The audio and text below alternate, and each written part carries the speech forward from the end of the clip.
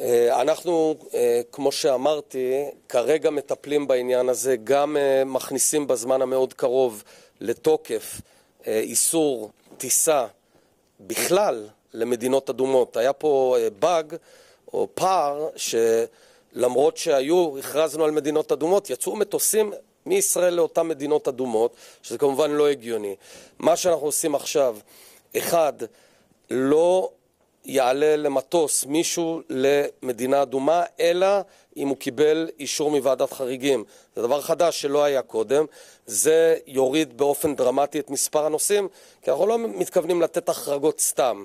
זו להיות סיבה עמוקה, רצינית, אה, אה, להיכנס, אה, לאפשר לישראלים עכשיו להיכנס למדינות אדומות. הדבר השני, לא רק שאנחנו רוצים לחסום את הטיסות, את מצב שישראלים יוצאים לטיסות ישירות למדינות אדומות, הישראלים היוצאים יידרשו אה, להצהיר שבמהלך שהותם בחו"ל הם גם לא ייכנסו למדינה, גם אם זה לא בטיסה ישירה למדינה אדומה, וכניסה כזאת תהיה עבירה על החוק.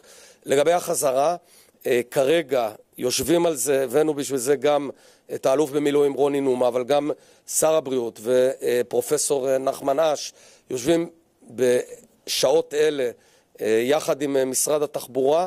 אה, זה לא רק סוגיית החברות, בסוף יש צוואר בקבוק להגיע לאולם הזה. אנחנו מחפשים פתרונות ונמצא. בגלל שמהדקים את זה, מטבע הדברים זה יוצר את החבלי לידה.